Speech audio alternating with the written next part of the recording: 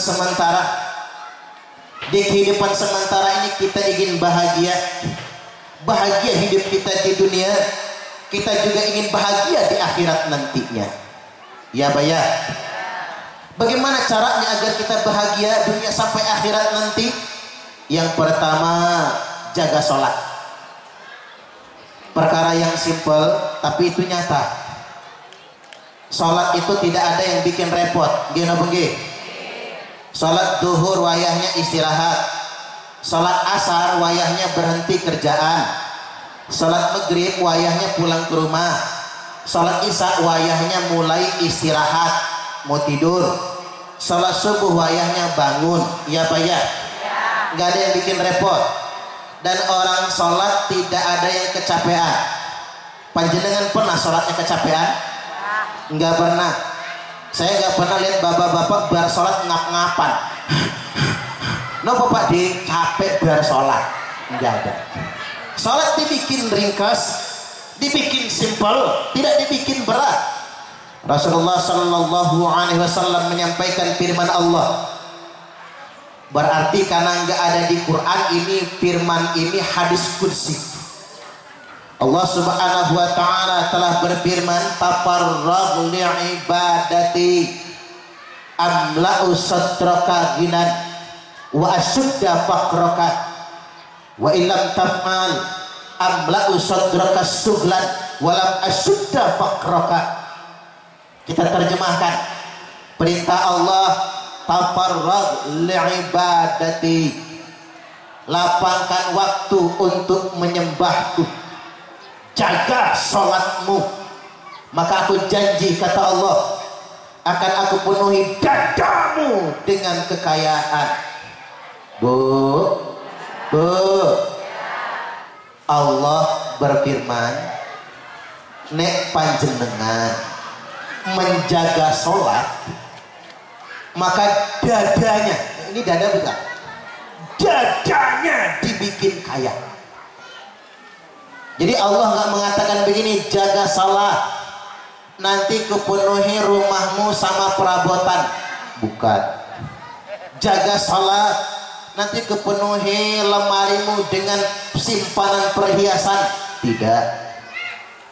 Allah juga nggak katakan jaga salat, nanti halamanmu penuh sama parkiran mobil. Tidak. Jadi Allah katakan jaga salat, nanti kepenuhi dadamu dengan kekayaan. Karena sejatinya kaya itu di sini. Laisal ghina an kathratil arad walakinnil ghina ghanna ghanan nafsi. Bukanlah kaya raya itu karena kalian banyak perhiasan tapi kaya yang sebenarnya kaya jiwa kalian semua. Saya tanya Bu, suka perhiasan? Suka emas? Ada nggak perempuan yang nggak suka emas? Ada perempuan mau mati, nggak suka dia sama perhiasan. Sudah kodrat ya, Pak. Yang namanya perempuan memang suka emas. Itu sudah takdir Allah.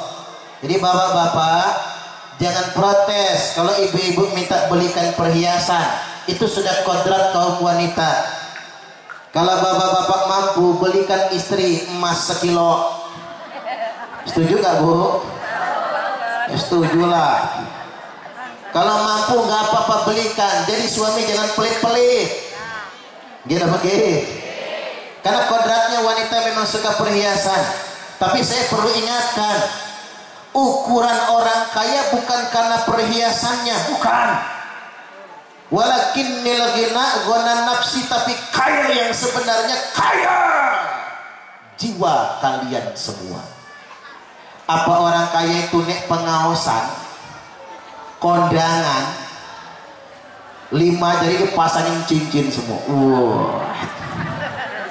begitu masuk taruh digoyang-goyang. Tuik Ibu-ibu pernah lihat yang kayak gitu? Enggak pernah ya? Mungkin nggak ada di sini. Oh, gelangnya sampai siku. wayai pengawasan sambil kipasan kuncrang kuncring kuncrang kuncring kuncrang kuncring kayak ketimpringan apa orang kaya itu pakai kalung gede banget ada ya bu pakai kalungnya gede bendolannya kayak pentolan bakso setan itu nah. Udah kayak palak bayi apa itu orang kaya? Bukan juga. Walakin ghina gonan nafsi tapi kaya yang sebenarnya. Kaya jiwa kalian semua.